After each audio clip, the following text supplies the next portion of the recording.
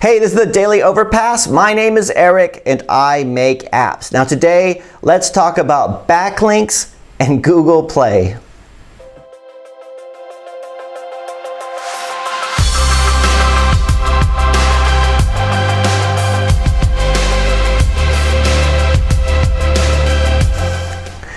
All right, so today I want to answer a question that came in on episode 552 from Felix Mananda, who says, Hi Eric, next video talk in detail about backlinks, how much percentage contribute to download, where to get backlinks in Google Play from your experience.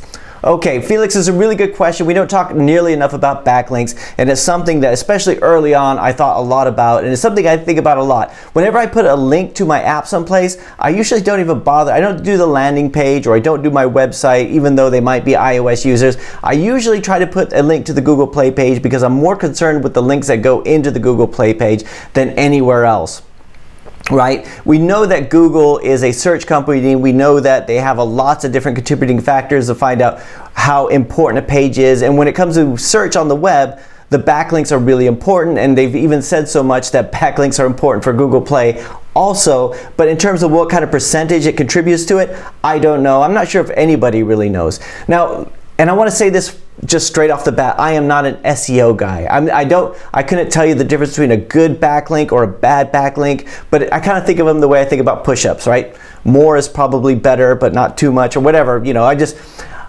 backlinks are good, so I'm always thinking about backlinks when we do stuff. So have a look at my screen. Let's talk, let's take a little bit of uh, a little look at backlinks here because when we look at different types of apps and we look at our competition, and even though maybe our keywords are more prominent, mine's in the title, but that one's outranking me for some reason. It could be because they have more, they have better reviews, they have a better description, they have better um, uh, backlinks coming in. They, you know, they just there's lots of different contributing factors. That, but this is a part of it. This is a component. So have a look at my screen here. I go look at my big my big app. I, I, keep going to this one because it's the one that's the most successful and it's a good example. We'll look at a, another one here too. But let's just go take a look at this. Now, I, I look at lots of different SEO backlink um, websites, and there seems to be a lot of them out there. It used to be that you in Google, you just type in link colon and see what was linking to your site, but that's not there anymore. However, I'm using this one on Hrefs. I don't, I don't have an account with them, but they do have the, the free tool over here. So if you go up to tools and you go down to um, backlink checker,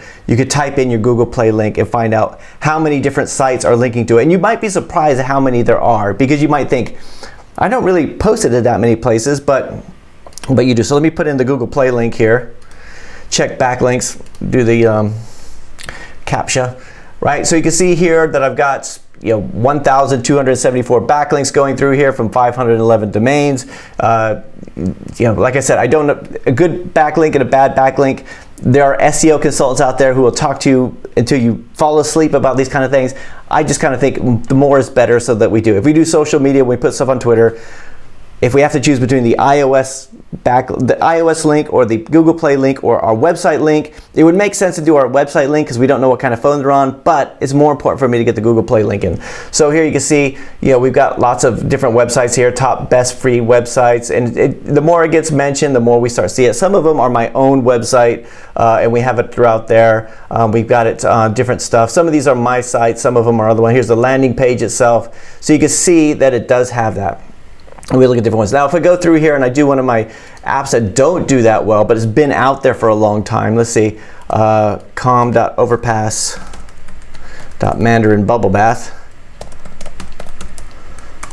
which does okay, but it doesn't do like it's nowhere near. You can see we, we don't have that many. We have 19, we have 19 backlinks. So this is something that I, I, haven't really done much with, right? We have it on our own websites. And, and early on, we were trying to go out to different um, blogs and stuff and try to just say, hey, could you mention our, our app? Can you do all this kind of stuff? But it never really turned out. And then we just kind of started doing more and more. But you can see there's a, a big thing there. So I, like I said, I wish I could tell you specifically, oh, that's 20%, but you, you've got other things too. You've got the amount of times it's mentioned in the reviews. We talked about how many reviews my big app has and the, and the keywords that are mentioned in the reviews. We talk about the title, we talk about the description, we talk about the number of downloads that you have, the retention rate, and you also have the number of backlinks in. Backlinks not just important for Google Play, of course, for Google. So if somebody's searching for it on Google, they're gonna find it. And it is something to think about. You know, how can you get your app onto more different, into more websites, the more links coming in. Every time you put it on the social media, are you linking to it? Are you doing that? Are you trying to get people to share it? And if somebody does share your app, you don't want them to share it to your website itself. You want to say, hey, go straight to the Google Play because that makes a big difference. At least that's been my experience. That's been what Google has said. And that's just, you know, that just is what it is. And it's when you're thinking about, when you're looking at your competition, you're thinking, how can I improve? That's one of the factors to bring into consideration. So let me know. Let me know what you guys do in terms of backlinks. You know, what kind of things do you think about? Is it do you have a strategy there? Because I think I went on early on. I went on Fiverr and I was trying to get backlinks that way, and it just I didn't really see much of an improvement, but then after a while it started getting mentioned in blogs and it started getting mentioned in other places and I really saw things start to pick up after that too and it started to go up in the rankings a little bit more solid. So Anyway, hopefully, Felix, I know uh, I'm not an expert when it comes to backlinks, but hopefully that's a little bit helpful. It's something to look into.